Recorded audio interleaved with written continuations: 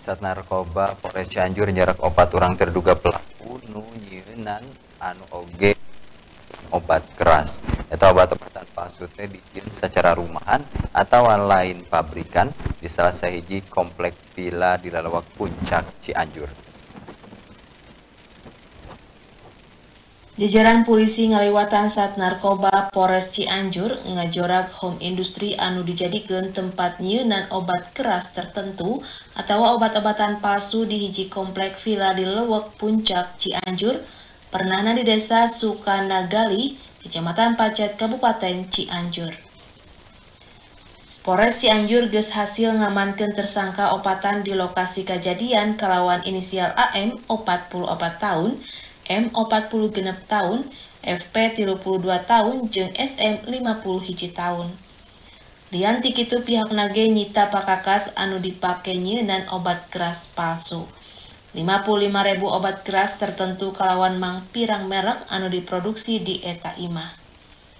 Kapolres Cianjur AKBP Azari Kurniawan nandeskeun pihak nage ges hasil ngamankeun obat-obatan anu dijadikan bahan dasar kawas obat tramadol jeung obat ker penyakit asam urat. Obat anuges diproduksi bakal diedarkan ku pelaku di Wongkon Cianjur, Bandung tepika dipaketkan piken dikirim ke Jawa Tengah.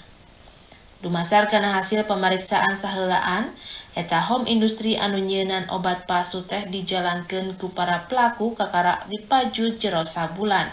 Kapolres Cianjur ngembohan pihakna kiwari keur ngalakonan uji lab kana eta bahan baku anu dipake nyeunan obat keras tertentu teh. Kami dari Polres Cianjur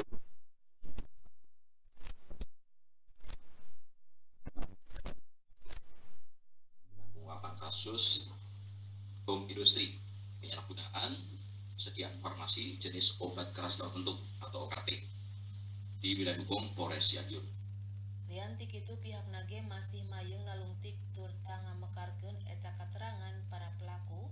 Nah eta plak-plakan nyeun obat teh secara otodidak atau aya nu tahan turta pihakna bakal mayung nalungtik katut neleman eta kasus dumasar kana hasil panimuanana.